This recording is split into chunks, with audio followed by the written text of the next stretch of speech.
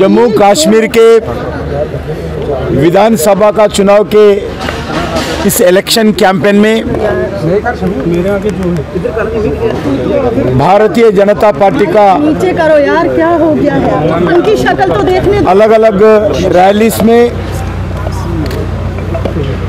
देश के प्रधानमंत्री से लेकर अलग अलग नेता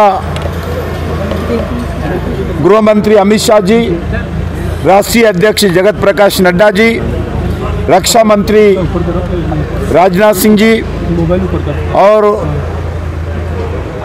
transport road and transport minister Nitin Gadkari ji, Uttar Pradesh मुख्यमंत्री और अलग अलग प्रांतों के मुख्यमंत्री, सभी लोग इलेक्शन कैंपेन में जुटाए और फाइनल राउंड। आज से शुरू होगा। 28 तक हमारा इलेक्शन कैंपेन होगा। इलेक्शन कैंपेन का concluding BJP Vijay Sankalp rally. Jammu में मौलाना आज़ाद स्पोर्ट्स स्टेडियम में होने वाला है।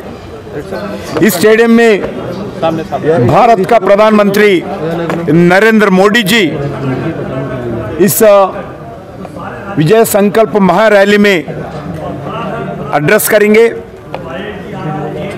जम्मू में टाउन के पूरे बुद्धिजीवी टाउन के जनता इस सभा में आएँगे और 27th को 26th को अलग अलग पार्टी के लोग जैसे बताया पूरे लोग फाइनल राउंड में इलेक्शन कैंपेन में आने वाले हैं। एक अच्छे वातावरण जम्मू कश्मीर में है। हर गाँव में, हर पोलिंग बूथ में हमारा भारतीय जनता पार्टी कार्यकर्ता जो प्रयास प्रधानमंत्री जी ने किए हैं, जो योगदान किया, उसके कारण लाखों की तादाद में आएँगे। लोग अपने प्रिय नेता को सुनने आ रहे हैं। यहाँ पर हम जो जुटा सकते हैं, हम जुटाएँगे, मगर लोग, ये चुनाव जम्मू कश्मीर का ये चुनाव जनता लड़ रही है। जनता लड़ रही है। भ्रष्ट नेताओं के खिलाफ जनता लड़ रही है। जिन लोगों ने सत्तर साल तक यहाँ पर एक्सप्लॉयटेशन की है।